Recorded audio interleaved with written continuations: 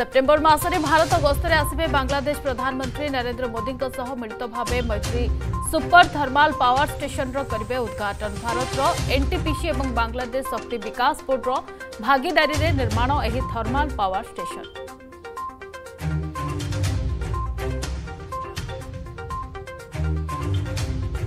ଓଡ଼ିଶା ଆସୁଛନ୍ତି କେନ୍ଦ୍ରମନ୍ତ୍ରୀ ଅମିତ ଶାହା ଗୃହମନ୍ତ୍ରୀ ହେବା ପରେ ପ୍ରଥମ ଓଡ଼ିଶା ଗସ୍ତ ଚଳଚଞ୍ଚଳ ରାଜ୍ୟ ବିଜେପି କଟକ ଗସ୍ତରେ ଆସି ନେତାଜୀଙ୍କ ଜନ୍ମପୀଠ ପରିଦର୍ଶନ କରିଛନ୍ତି କେନ୍ଦ୍ର ଶିକ୍ଷାମନ୍ତ୍ରୀ ଧର୍ମେନ୍ଦ୍ର ପ୍ରଧାନ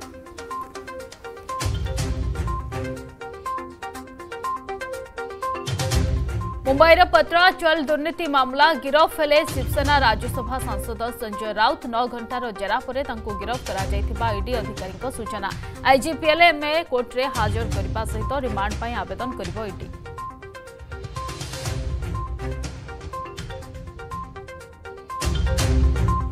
ଆଜିଠୁ ଖୋଲିବ ଭିତରକନିକା ଜାତୀୟ ଉଦ୍ୟାନ କୁମ୍ଭୀର ପ୍ରଜନନ ଋତୁ ପାଇଁ ଗତ ତିନି ମାସ ଧରିଥିଲା ବନ୍ଦ ପର୍ଯ୍ୟଟକଙ୍କ ପାଇଁ ଭିତରକନିକା ଜାତୀୟ ଉଦ୍ୟାନ ଖୋଲିବ ବନ ବିଭାଗ ପକ୍ଷରୁ ସମସ୍ତ ପ୍ରସ୍ତୁତି ଶେଷ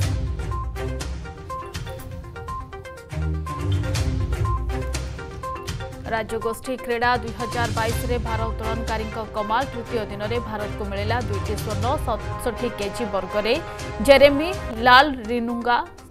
तेस्तरी केजी वर्ग में अचिंता ସେଓଲିଙ୍କୁ ସଫଳତା ଟ୍ୱିଟ୍ କରି ଶୁଭେଚ୍ଛା ଜଣାଇଲେ ପ୍ରଧାନମନ୍ତ୍ରୀ ସେପଟେ ବୃହତ ବିଜୟ ସହିତ ଭାରତୀୟ ପୁରୁଷ ହକି ଦଳ ନିଜର ଅଭିଯାନ ଆରମ୍ଭ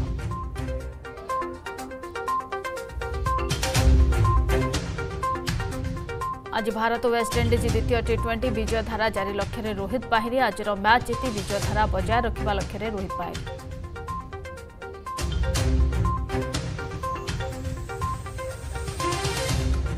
ଆଜି ଅଗଷ୍ଟ ଏକ ସମ୍ବଲପୁରୀ ଦିନ ଗୁରୁ ସତ୍ୟନାରାୟଣ ବହିଦାରଙ୍କ ଜନ୍ମଦିବସ ସମ୍ବଲପୁରୀ ଭାଷା କଳା ସଂସ୍କୃତି ସାହିତ୍ୟ ପରମ୍ପରାର ପ୍ରଚାର ପ୍ରସାର ଏହି ଦିବସର ମୂଳ ଉଦ୍ଦେଶ୍ୟ ଦୁଇ ବର୍ଷ ପରେ ଧୁମ୍ଧାମ୍ରେ ସମ୍ବଲପୁର ଦିବସ ପାଳନ କରିବେ ପଶ୍ଚିମ ଓଡ଼ିଶାବାସୀ